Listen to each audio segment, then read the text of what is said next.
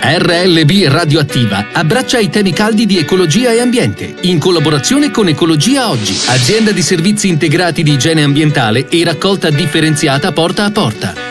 Bentrovati all'ascolto da Francesco Veltri, siamo giunti alla quarta puntata di Qui Ecologia, rubrica di RLB dedicata all'ambiente e all'universo dei rifiuti nella città di Cosenza.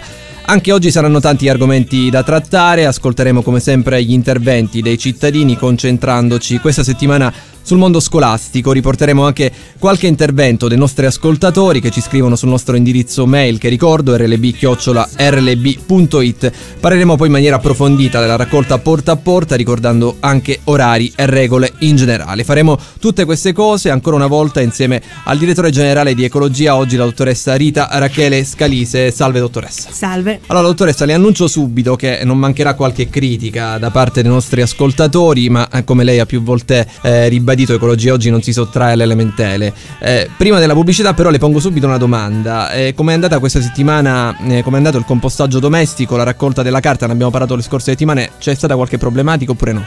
Allora, per quanto riguarda la raccolta della carta abbiamo avuto un miglioramento, non ci hanno segnalato declassamenti o altro, quindi ci auguriamo che continuiamo con questo trend.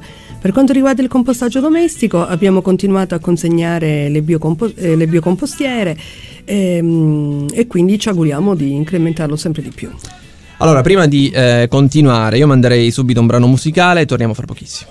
RLB Radioattiva Radioattiva Radioattiva RLB Radioattiva abbraccia i temi caldi di ecologia e ambiente, in collaborazione con Ecologia Oggi, azienda di servizi integrati di igiene ambientale e raccolta differenziata porta a porta. Rieccoci in studio con Qui Ecologia. Allora, insieme alla dottoressa eh, Scalise parliamo della raccolta porta a porta, ricordando magari inizialmente il calendario delle utenze domestiche. Comincio io, poi continua la dottoressa. Allora, il lunedì io ricordo frazione residuo, il martedì frazione organico, il mercoledì frazione plastica e metalli, giovedì frazione organico, venerdì frazione carta, sabato frazione vetro e domenica frazione organico. Si dovrà esporre il secchiello marrone nei giorni previsti per la frazione organica, mentre il secchiello grigio per la frazione residuo, frazione carta e frazione vetro. L'unica frazione per la quale è prevista l'esposizione della busta azzurra è plastica e metalli. Si precisa che tutte le attrezzature sono fornite dall'azienda Ecologia Oggi, questo è sempre bene eh, ribadirlo. Dottoressa, vuole aggiungere qualcosa in, in, merito agli orari? Sì, allora è importante fare una distinzione tra gli orari di conferimento e gli orari di ritiro. Gli orari di conferimento ehm, devono essere rispettati dal cittadino e sono i seguenti. Per quanto riguarda tutta la città, dalle 20 alle 5 del giorno successivo. Per quanto riguarda le zone del centro storico e dell'isola pedonale, il, mm, il, il conferimento va fatto dalle 6 alle 8 del giorno, eh, della, della, raccolta, certo. diciamo. Eh, questi sono gli orari di disposizione o di conferimento da parte degli utenti. Gli orari della raccolta invece da parte dell'azienda Ecologia Oggi iniziano dalle 5 fino alle 11 per quasi tutta la città e dalle 8 alle 14 per quanto riguarda centro storico e isola pedonale, che sarebbe la cosiddetta zona franca, perché è una zona eh, dove è attivo anche un sistema di premialità il cosiddetto RFID, cioè sì. noi in base a un, a un, codice riusciamo a capire se il conferimento è stato fatto correttamente o meno e i cittadini hanno diritto a delle premialità a secondo delle esposizioni che fanno. È un sistema che stiamo, stiamo portando avanti e siamo in una fase ancora sperimentale, diciamo. Ovviamente ce ne occuperemo poi anche nei prossimi giorni, sì. cercheremo di eh, ribadirlo e ricordarlo eh, ogni settimana. Andiamo subito ad ascoltare allora il primo intervento del giorno. La nostra Maria Teresa Improta ha ascoltato la mamma di un alunno della scuola di eh, Via Negroni eh, su come funziona nell'istituto la raccolta differenziata, ma non solo questo. Mia figlia che adesso fa le scuole superiori qui aveva già iniziato un progetto, l'aveva già fatto, il piccolo pure l'ha fatto. Fanno anche quello per lo spreco di energia, tipo dell'acqua, magari lavarsi i denti, chiudere il rubinetto quando si insaponano, la stessa cosa quando si fanno la doccia. No, no, la fanno. Che io sappia sì, non so se l'hanno fatta quest'anno, però negli anni precedenti sì, mia figlia fa la terza media, l'hanno fatta. E quindi fanno anche qualcosina sui rifiuti, spiegano ai ragazzini come fare Sì, sì, sì, perché nelle classi comunque hanno messo là i bidoncini per la carta, per la plastica, quando fanno quindi colazione, sanno dove buttare le varie cose, insomma. Glielo spiegano qua le, ma- le maestre, sì, sì, sì, professoresse? Sì, sì.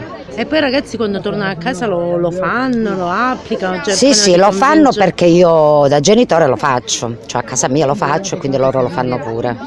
Ho i bidoncini colorati sul balcone e loro vanno lì e buttano le varie cose, sì lo facciamo. Ma io lo faccio da anni, lo facevo ancora prima che iniziassero, dove vedevo qualche bidoncino della plastica, andavo, la mettevo nella busta e li buttavo lì. Siccome tengo alla mia città, in ogni caso vedi, a volte mi trovo delle carte, o mangio un panino, oppure il bambino mangia un gelato, non sa dove buttare le carte. A volte sono sporche, ok, sono pulite le metto nella borsa, ma se sono sporche, tipo un gelato, dove le buttiamo? C'è nella borsa, è impossibile, quindi si butta a terra. Cioè io evito, ecco, perché a me piace, ecco, come sono a casa, a me piace avere casa pulita e anche la città pulita. Mi darebbe fastidio ecco, uscire e trovare la busta della spazzatura come alcuni fanno che la buttano fuori, così insomma non è da civili insomma. Allora, dottoressa Scalisa, abbiamo ascoltato una cittadina modello, modello. No? per certi versi. Allora, la signora evidenzia ehm, come anche a Bienegroni la raccolta differenziata venga fatta abbastanza bene, eh, parla anche dello spreco di energia. Poi, altra cosa che dice la signora, a me piace avere la città pulita così come è pulita casa mia. Sì, questa è stata la frase più bella della signora perché dice casa pulita, città pulita. È quello che mh, mm, sostengo sempre. Cosenza è come una casa e come una casa va trattata, cioè nessuno di noi si sognerebbe di buttare le carte nel salotto, di buttare i rifiuti in cucina, eh, di buttare qualsiasi cosa in giro per casa, perché la casa la vogliamo tenere pulita, perché è la nostra ed è questo mh, quello che noi sbagliamo, anche la città è nostra, quindi tutti dobbiamo tenerla pulita la città perché appartiene a tutti noi e noi non dobbiamo pensare solo a noi, ma dobbiamo pensare anche agli altri che vivono in questa città ed è quello che ribadiamo sempre. Il senso civico è proprio questo, rispettare gli altri, rispettare la città, rispettare le cose che sono poi di tutti. A Venegroni c'è un progetto che funziona ormai da diverso tempo. La scuola di Venegroni è una tra le scuole migliori di Cosenza, anche perché noi l'abbiamo anche visitato ultimamente con i tecnici del CONAI per la raccolta differenziata della carta è una scuola che fa molti progetti innovativi e la raccolta della carta in questa scuola funziona eh, adesso bene, nel senso che noi abbiamo delle unità dedicate che vanno nelle scuole e raccolgono la carta e ci segnalano tutte le criticità, criticità. e ci hanno segnalato che Vienegroni è una tra quelle che ultimamente sta seguendo meglio le direttive. Allora, noi mandiamo un altro stacco musicale, torniamo tra poco con una nuova intervista e tanto altro. RLB Radioattiva Radioattiva Radioattiva RLB Radioattiva abbraccia i temi caldi di ecologia e ambiente, in collaborazione con Ecologia Oggi, azienda di servizi integrati di igiene ambientale e raccolta differenziata porta a porta. Torniamo in studio, siamo sempre con la dottoressa Rita Rachele Scalise. Abbiamo sentito poco fa la prima intervista del giorno, una mamma di un alunno di eh, Via Negroni. Adesso ascoltiamo un ex insegnante che vive a pochi passi dalla scuola di Via Negroni. Secondo me è un'intervista interessante. Come ex insegnante, come educatrice, noto questa cosa perché vedendo i bambini in macchina con i genitori, presumo che a scuola le insegnanti hanno fatto la raccolta differenziata, il progetto, l'avranno sviluppato in tutti i modi, chissà com- come si sono prodigate, hanno portato i bambini fuori con i pullman, quello che ho fatto io, sono stata tanti anni a Via Derata, abbiamo fatto pure noi questa cosa. E poi tutto il lavoro fatto a scuola viene vanificato perché a casa non vengono rispettate le regole. Anche se i bambini portano i messaggi a casa, però per comodità forse perché non, è un pochino difficoltosa questa raccolta che si fa, nel senso che non è che sempre si possono accumulare quelle cose in, quel giorno X. Può capitare che rimane un rifiuto e qualcuno pensa di buttarle invece di tenerselo a casa. Penso, però ad arrivare a, a sistematicamente passare con le macchine e buttare la spazzatura, questo è il comune che deve mettere l'aria di videosorveglianza è diseducativo proprio per i bambini soprattutto, perché i bambini non ci capiscono niente poi, sono frastornati da messaggi diversi. Allora, bambini in macchina con i genitori che prima di accompagnarli a scuola buttano la spazzatura in mezzo alla strada, in posti isolati, ne abbiamo parlato anche la scorsa settimana, cioè via Antonino Catera, che è un punto sì. eh, da questo punto di vista, tra virgolette, strategico, lo possiamo definire. Eh, tutto ciò, dice la signora, è diseducativo per i bambini che rischiano di essere un po' eh, confusi, frastornati di, di, di fronte a queste situazioni. Cosa rispondiamo?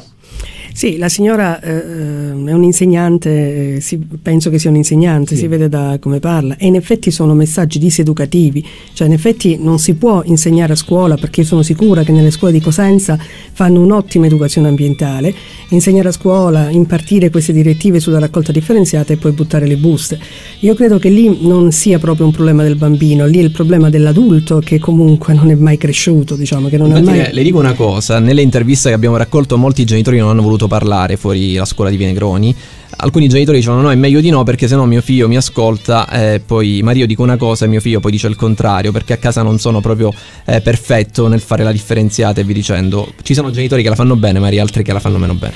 Sì, diciamo che le classi, voglio dire, la nuova generazione di, di genitori è in genere molto attenta perché eh, amano fare queste cose, amano tenere, hanno l'idea dell'ambiente quindi mi sembra strana questa cosa, però se la, l'insegnante, la signora l'ha riferita vuol dire che accade ed è una cosa brutta, diciamo, brutta per i bambini, brutta per la città di Cosenza, brutta per tutti noi. Lanciamo che questi genitori si possano Ecco, lanciamo questo messaggio a questi genitori, ovviamente per fortuna non sono tutti eh, così. Allora, dottoressa Scalise, andiamo avanti. Ora le giro rapidamente alcune domande, alcune anche maliziose, di un ascoltatore che ci ha scritto sulla nostra mail. Si firma, si firma Ben Will.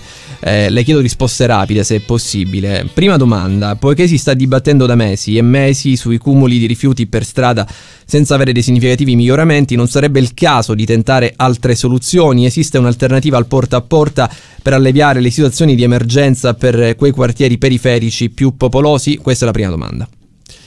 Allora, ehm, per quanto riguarda gli abbandoni, noi abbiamo notato un miglioramento invece, soprattutto in alcune zone. Rimangono critiche le zone eh, dell'ultimo lotto, eh, del centro storico e queste zone noi che cosa possiamo fare? Non possiamo fare, non abbiamo una soluzione, noi non possiamo fare eh, tornare indietro, mettere cassonetti. La raccolta differenziata è, è un, la metodologia del porta a porta, è l'unico sistema di raccolta differenziata che con, ci consente veramente di differenziare i rifiuti.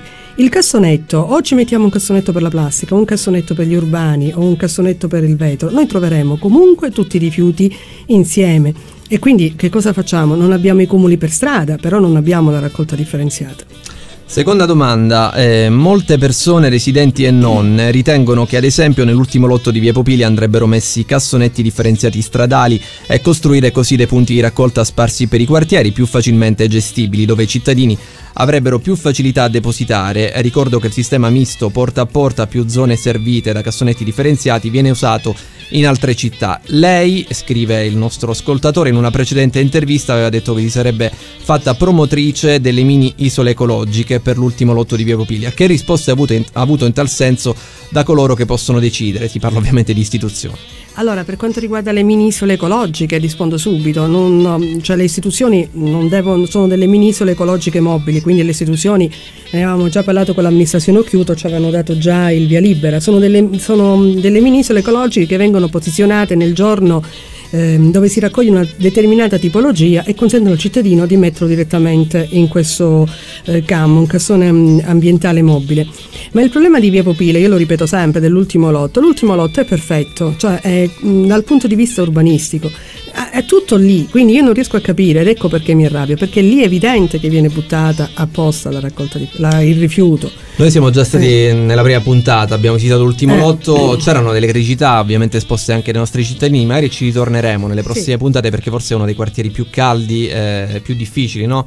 Eh, Io credo che le istituzioni eh, non mi dovrebbero dare una risposta sulle isole ecologiche, casomai mi dovrebbero dare, come dire, dovrebbero, dovrei interessarli per capire come sanzionarlo chi non lo fa, perché l'ultimo lotto veramente, posso capire il centro storico che c'è la scaletta che magari è difficile per il cittadino, la persona anziata, ma l'ultimo lotto è perfetto dal punto di vista urbanistico, quindi basterebbe soltanto che tutti mettessero il secchiello lì e darebbero un segnale anche importante l'ultimo lotto, darebbero un segnale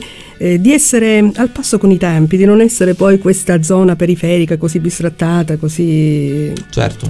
Comunque noi ringraziamo il nostro ascoltatore, ovviamente lo invitiamo a riscriverci eventualmente per darci ulteriori no. spunti, no? A me piacerebbe che l'ascoltatore eh, ci dicesse eh, se lui conosce qualcuno dell'ultimo lotto, qual è il motivo per cui non lo fanno? Lavorano, escono presto, escono tardi? Qual è il motivo per cui non possono depositare i rifiuti ed esporli in maniera corretta? Giriamo questa domanda all'ascoltatore, aspettiamo una risposta risposta Ok. via mail, ma eh, eventualmente può anche venire qui in studio, possiamo parlare sarebbe- direttamente con lui. Ehm, dottoressa, prima di chiudere, ehm, so che in settimana è stato presentato il progetto Rai Scuola, ne parleremo più approfonditamente la prossima settimana, però magari un'anticipazione ce la può dare. Sì, allora, eh, questo progetto RAI Scuola riguarda la raccolta dei RAI, che sono rifiuti ehm, provenienti da apparecchiature elettriche ed elettroniche, che verrà eh, fatto eh, principalmente nelle scuole, dove i bambini potranno portare i piccoli ehm, apparecchi elettronici e verranno depositati in dei cassonetti che l'Ecologia oggi provvederà a ritirare. I RAI è una tipologia di rifiuto particolare, sono oh, per intenderci i frigoriferi, le lavatrici, i televisori, i tubi al neon e devono essere ritirati con- secondo delle precauzioni particolari. Noi in genere la raccolta dei RAI la facciamo il venerdì e la facciamo su prenotazione. Abbiamo delle persone dedicate che richiamano i cittadini per prenotarli. La raccolta viene fatta dalle 8 alle 14, il cittadino deve, deve esporre eh, sul suolo pubblico questo, mm, questo eh, rifiuto e loro si possono prenotare eh, telefonando ai nostri numeri, eh, che li ripeto, 0984 41 19 75 oppure al numero verde 800 400 506 o inviando un'email a cosenza-ecologiaoggi.it. È importante perché i RAE, se non vengono smaltiti correttamente, possono, sono altamente inquinanti. Se vengono smaltiti correttamente hanno al loro interno ehm, dei- delle risorse preziosissime, eh, possono contenere rame e altri metalli di questo tipo e che possono essere riutilizzati, hanno un grande valore. Noi, eh, solo per darle un'idea, noi raccogliamo al mese due tonnellate di RAI. Allora, siamo in dirittura d'arrivo. Io ringrazio anche questa settimana la dottoressa Rita Rachele Scarise, direttore generale di Ecologia Oggi, per aver risposto alle nostre domande, alle nostre problematiche, problematiche avanzate anche come abbiamo visto dai cittadini e le diamo appuntamento la prossima settimana. Allora, ricordo ai nostri ascoltatori che per qualsiasi segnalazione potete contattarci allo 0984 40 19 40 oppure scriverci su rlb chiocciola rlb.it. A risentirci.